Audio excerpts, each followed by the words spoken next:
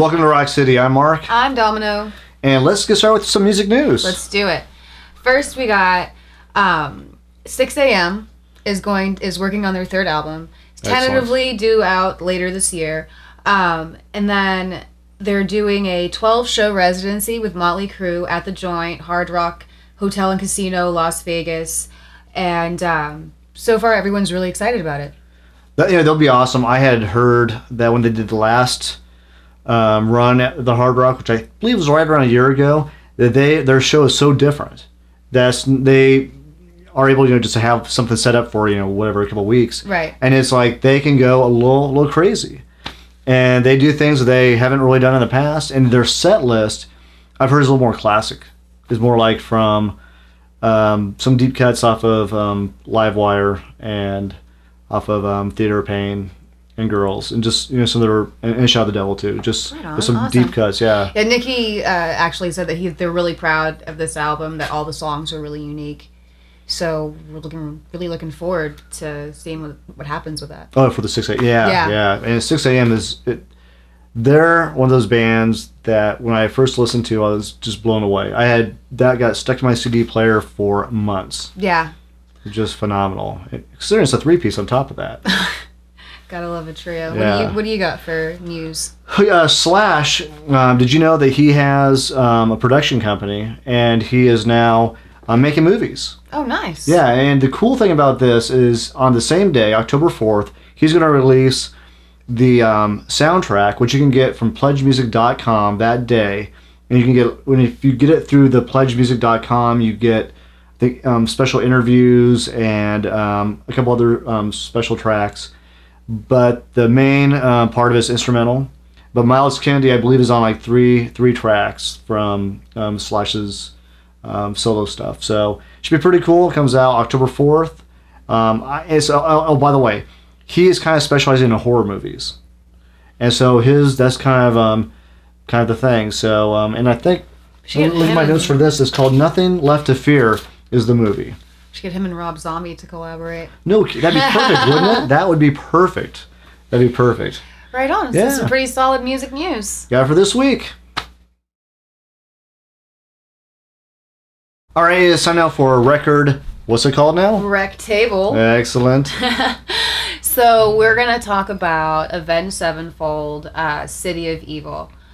That was a album that I've been listening to for the past couple weeks, and Cool. it is tasty as shit. Like it's amazing. It's fantastic. Yeah. From track one all the way, I don't even remember how many tracks are on it because it's been on a loop. So I don't even beginning and end. It, it doesn't. It doesn't happen. that was the first album I ever um, bought and listened to from them, and I was just blown away. it is well well worth whatever you pay for the album.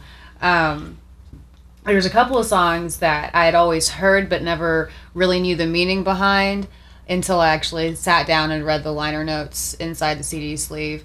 I had no idea that song 10 on that album was um, a tribute to Dime.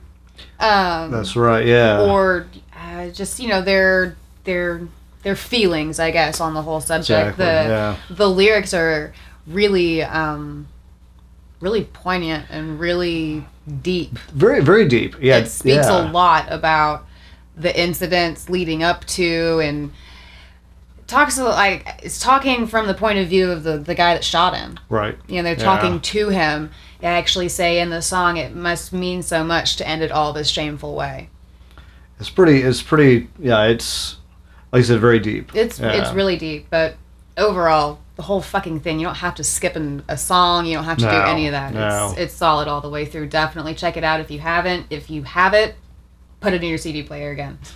I agree. I agree. You know what? I, I may have to do that soon. It's been a while since I've listened to it. I've been listening to the new one recently, which in a couple weeks. We're gonna be talking about the new one. Yeah, yeah, that's that that um We're waiting. yeah, yeah. We're waiting for October nineteenth to see them. Exactly. Man, we'll have to kind of we'll lead up to that um show uh, with a review to, to the new album, Absolutely. Hail to the King.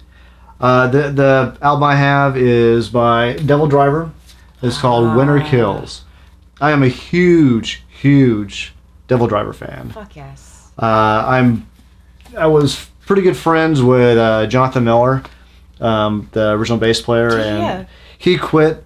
Uh, it was before this album. I think it was a couple years ago. He actually went to rehab and all this stuff, and uh, but and I was kind of worried because he he did a lot of the writing, and this doesn't miss a beat. And there's a lot of um, their their last album. I don't want to say it lost me, but it was a little more. Um, it was like Pray for Villains was had a very good melodic groove to it, and the album after that kind of lost that for me. It was still good, but Just this one this one is um, gets back to a little more groove to it, and really um, got has back to the Yeah. yeah.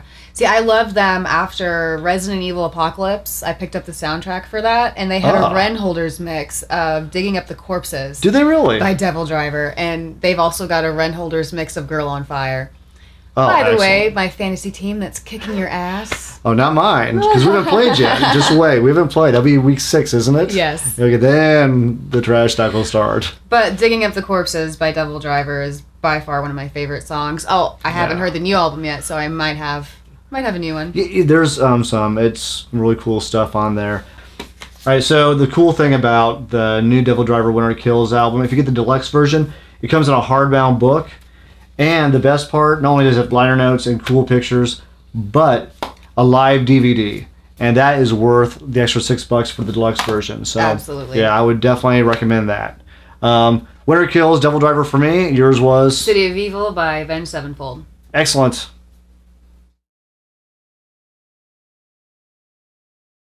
All right, time now for my favorite segments, and that is rock and roll cinema. Cinema of Rock. That's right, What's this week. We're gonna talk about This Is the End. And um, quite the movie, if you haven't seen it, quite the experience. It's an all-around experience. Yes, and uh, kind of cool things we got, we got to see together. So that was, Yeah. um, we were definitely, um, Cracking up. yes. That's an understatement. So it's got everybody in it. Craig Robinson, Michael Cera, James Franco, Aziz Ansari, Emma Watson. Oh, that's right. I forgot about that. Hermione stole all her shit. Yes, yes. Course, Seth Rogen. Seth Rogen, Oh, uh, Mike was it Michael? Is it Senna or the Michael guy? Cera? Sarah, yeah, Cera, the, yeah. the kid that's lost his virginity like umpteen yeah, in every movie. Um, so like everybody, He loses something else in this movie. Yeah, yeah, he totally does. Uh, there's just so much happening in the movie. Yeah. It's, uh, It's a, it's, a, it's a roller coaster ride. It actually kind of is. And if you're um, in mixed company like your parents, maybe not want to see that movie. maybe not. There's a lot of coming. There is. Yes, and going. Yeah, yeah, yeah. Um, totally worth it though. Like get your get your friends together, get the booze, have It- some it- shots, and Yeah, it's a cool party movie. yeah, um, it's because it's about a party. Yeah, yeah, yeah, that's um, the end of the world type party. Yeah, but definitely a recommendation. Uh, I, I believe it's probably going to come out on DVD in the next month or two since Yeah, the summer movies are done. be, yeah. So, but check it out. This is the end. This is the end. Check out this exclusive footage in this week's band break. Soundwall thing? Yeah. Yeah. Yep. Actually, I'm taking that out because I need this one back because I lost it. No, I'm just Oh, check it, dude. This is a promo disc. yeah, you got a promo disc there.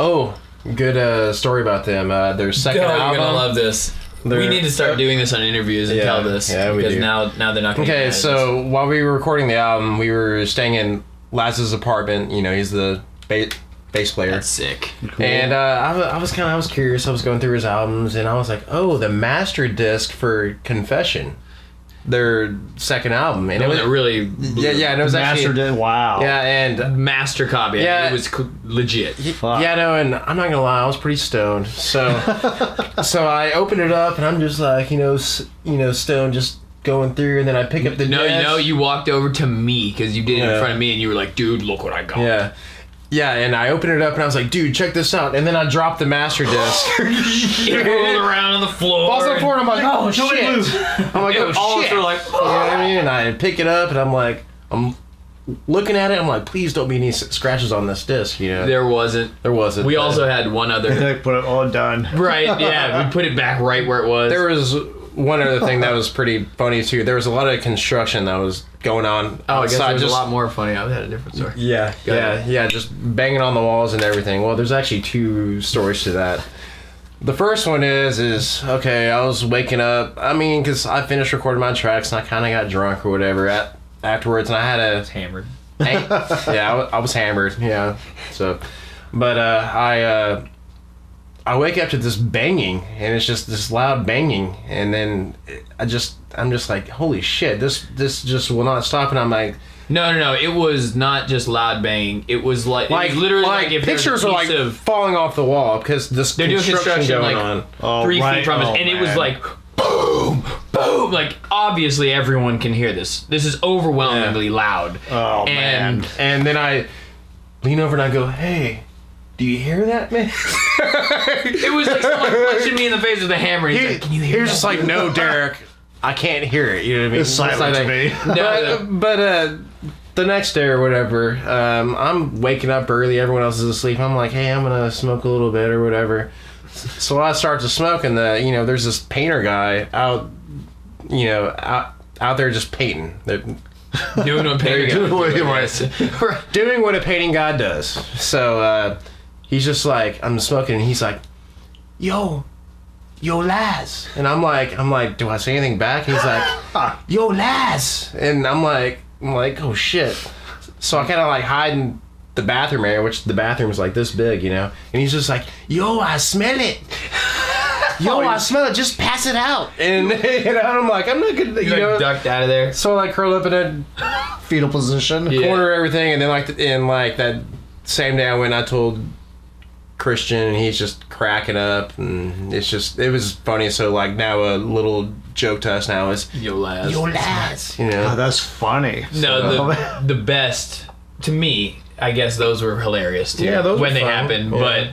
But uh, they had told us like every night we got into Laz's apartment at like three in the morning. It was late sessions, and we would, we walked there because the studio's pretty close. So we'd get there, and he was like, "Man, I'm gonna give you guys this. It's all yours. Just one thing: gotta be quiet because the landlord lives next door. She's really close to me. She knows that you guys are gonna be here. Just respect that. And we're like major respect dudes. Like we don't disrespect. Right. Period. We're nice. yeah. I mean, And, when it uh, comes down to it, yeah, we're always gonna do the right thing. You know, and, and Right, right. right, and on top of on top of it's Laz's apartment. We're not gonna mess anything up. No Motley Crue is. Right? Yeah, we're just like everybody be good, and we didn't have to say in a punch bowl. Right. Okay, So, okay, I'm trying to get to where this one's going. But oh, think, you'll know. But I think I know. So we get there after the first night. We're there, and we're all just like on high from like just having met them again, and like the record already right off the bat, the way it's getting laid out, everything is feeling like epic. We're like, this is gonna be what makes us. And uh, we get in, and we had some like we all had a lot of money at the beginning of it. Ended up with none, but uh, there was a little bodega down the street, and Derek just, you know what?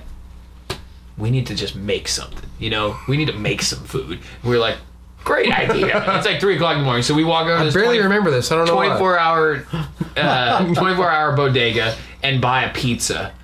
And oh. come back, and we're like, we're gonna make New York pizza, and we were trying to be funny about it. And we opened up his stove, put the pizza in there, and it's in there for about ten minutes. And and about that moment, we realized it's pretty smoky, and then the fucking smoke alarm started just blaring, and it's like four o'clock in the morning, and, And we he- couldn't get it to go. And he like tells us before, and strictly do not make any noise. And then bleep, bleep, bleep. Oh, we're like- it went on for like 15 minutes. It was just madhouse.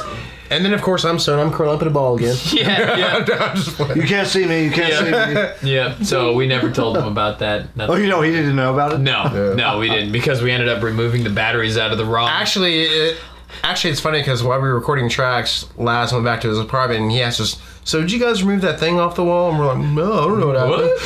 Because it wouldn't go off, so we had to pull the batteries out of it, and it finally shut up. I have no idea what you're talking about. Yeah, exactly. Well, no one made a pizza. No.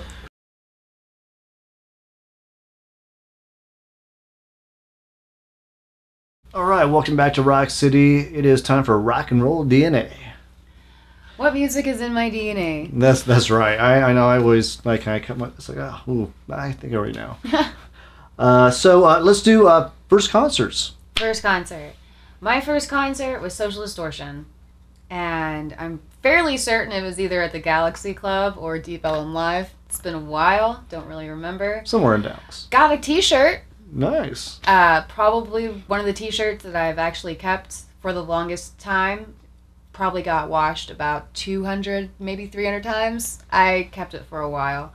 Uh, that's where I fell in love with Mike Ness. We're the same height, so I figured it was Meant to be. it was meant to be. There It was go. kismet. So, um, and I've I've seen Social Distortion every time they've came through Dallas ever since then. Wow. That's wow. one That's of the only bands cool. that I've seen consistently. nice, nice. They're just that good. you know, and they're one of the bands that you kind of turned me on to. Yeah, they're they're they're amazing. Yeah. And it's it's nice to see now that Mike Ness has kind of grown into his voice. His Yeah. voice was always bigger than he was, it seemed. Because he's such he's a little guy. oh, was he really? No offense, Mike Ness, if you happen to watch this or Because he will. He might. Yeah. Um, no offense, dude, but we're vertically challenged. we can't help it. I'm Um, with. I'm with. I'm, I'm there. but he sings like he's like six foot. I That's mean, cool. It's he. He's got a very convicting voice, and the lyrics are sick. So Yeah. it's hard not to like him. Yeah, very cool. Very Yeah. cool. That's a good one. Uh, mine goes back a little farther, I think. Um, dinosaurs roamed the earth. Eh, quite possibly. It was back in, uh, it would have been November 1979. And it was Kiss. It was on the Dynasty Tour. Nice. Yeah, my dad took me, me and my best friend, and who I'm still friends with, and took me and him um, after school. And it was in Colorado, and it was November, so it was snowing. And my dad didn't tell me till later on, but he thought we may not Get to make yeah, it. because of the snow. I mean, it was like coming down. I mean, it probably was about three or four inches, and it was an hour drive. So we um, went all the way down to Denver, and my first show, it was um, phenomenal. It's like it's like wow, this is Kiss right there. Oh my gosh. And um, I actually still have my shirt. Let, let me get that. Hold on. Hold on one second. Wow. Yes, this is pretty impressive. We're about to see a vintage piece of rock and roll memorabilia. That's right. Oh at that. my shit snacks. Is that badass or what? and it's tiny. It is. Yeah, it was. I, I was like in junior high, so yeah, I still have it, and I know exactly where it's at at all that times. kids is proof Yes. that rock and roll never dies. Never does die. Never does die. No, that I will never forget that concert. They changed the way I looked at music forever. I mean, I'm. I love metal. I love all types of music, but I mean, Kiss has a special place in my heart. That's where it started, yeah. That's right. That's in my rock and roll DNA.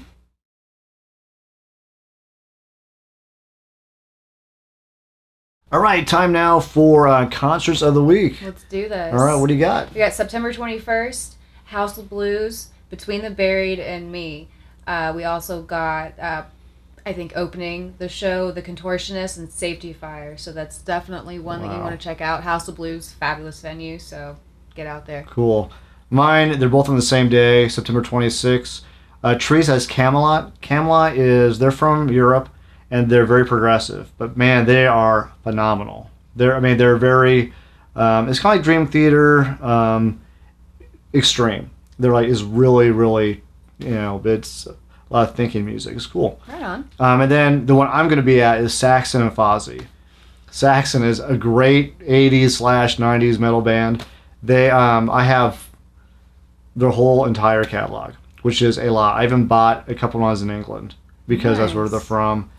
And I also bought one in Germany when I was there too. That's how I got my picture taken by. They're international. Yes, they. Oh yeah, they're huge. Right Not as huge here. And then Fozzy, if you're very familiar with him, that's Chris Jericho. He's from the the wrestling dude. Yeah. And I have actually I've never heard them. I've heard of them, but I've never heard their music. I heard it's pretty like straight ahead rock and roll, so I'm looking forward to seeing them. Awesome. So it sounds Yeah. like a good weekend to get out and check out maybe some new bands you haven't heard of. I know I might have to go check out Kamelot. Yeah, and Saxon's at House of Blues, so um, awesome. Yeah, great.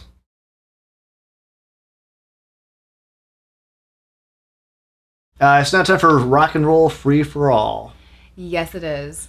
And today we are going to talk about the subject of going to a concert and not being able to pay attention because there are so many chicks flashing their milk makers. By that, I mean boobs, tits, cans, jugs, whatever you want to call them. But it happens. Sometimes often, sometimes not so often. Some of them True. you want to see, some of them you're not sure you want to see. And it's distracting. You don't Yeah, you don't know if you want to look at the band, which is what you should be looking at. Hopefully you paid for your ticket. Or do I want to look at this broad over here who's compulsively flashing her tits? For what reason, I don't know. The band's not going to take you home. So I don't get it. It's you know I think it's just a tradition. I, I got I gotta say when I was um in I was in Austin so years ago when I saw Motley Crue actually for the first time is at a small place Austin Music Hall, and I had uh, me and one of my friends had were like second row, and we're like, "There's a dilemma. Look here or behind us," and it's like You get tennis I don't neck. I don't know. You get tennis and neck. yeah, and it was um yeah it's, but uh, like again I said, yeah, it's a tradition. But how dare you put me to a decision after I've spent my hard earned money to see a band that I so desperately wanted to see? Yeah, I, I You know, it maybe Crazy. maybe you just flash your boobs whenever you see their music video. at home. You still get to flash your tits. I still get to see my concert. Nobody has to die. That, exactly, exactly. Uh, another antics at shows to me is, which I think you're probably more into than I am, is a whole mosh pit. For me, it's annoying as hell because I get there, I'm trying to watch the show, and if I get too close and that pit's going, it's like, well, I'm not going to get in there because I. It's kind of the same thing. I want to see the band, and I want to see the performance instead of worrying about if I'm going to get, you know. Kicked in the face. Yeah, exactly. Yeah, I don't want to get kicked in the face. Now, see, on the other side of that token, I'm the girl that he has to worry about getting kicked in the face by. Maybe that's really why I don't want to go. You're right. I go to a show specifically to mosh because usually I'm pissed off about something. Well, there you go. So And what better way to take it out than on some stranger that I don't fucking know and just kick him around a little bit? yeah, there you go. Now, I'm all of five five and 92 pounds soaking wet. So you can imagine that me being in the pit is a little Right. perilous at times. I have left mosh pits with full on footprints on my ass and back. That's I have, impressive. I have left mosh pits unconscious. I have left mosh pits missing clothing. wow. I kid you not. I have left mosh pits with bumps on my head. That's that's intense. Yeah. I've left mosh pits from the side of this stage. it's like no. That's impressive. I you know I, I gotta say this like that's that's cool. I mean you can do that, go in there and and get your aggression out. And that, that's what they're there for. I mean there is for like you know you know good way to get all that anger It's because out. I'm pissed off that there's $14 beers at a concert. yeah yeah yeah I That's what I paid at Gexa, by the way. $14 for a uh, 24 ounce PBR. Yeah, and the worst part is you don't want to kind of break that down, saying, "Well, I could have actually bought a case with that." Yeah, I could yeah. have. Yeah, so I could have. Yeah. I could have bought a lot of PBR for $14. yeah, yeah. But would you want to? Absolutely. Oh, okay. You know it's good because it has a blue ribbon on it, Mark. oh, that's right. That's right. That's right. What am I thinking? Any more antics you want to talk about? Uh, you know, there's there's tons and tons of antics that go on at concerts. There's moshing, there's tit flashing, there's smoking weed at concerts. I've never seen that. We've never seen that. We don't we don't participate in that. We don't No. condone it. Nope. I'm sure some Grateful Dead shows, if they were still around, they may do other stuff. I remember my friend's dad talking about his first concert was Uriah Heep. Wow. and he left. He left halfway through because there were so many kids around him smoking weed, and he was total straight edge at the time. Never drank, never smoked cigarettes, nothing. He's like these damn hippies. Wow. wow. That's, and I'm sure that was um, probably back in the early 70s. Yeah, I probably just dated my friend's dad, but it's, it's all good. but not dated. Not dated, no. Let's get that clear. well, I guess that's the antics for uh, for Rock City this week. All right, thanks for joining us this week on Rock City. Had a great time, and always Make sure you like, share, and subscribe. Follow us on Twitter. And as always, rock, out.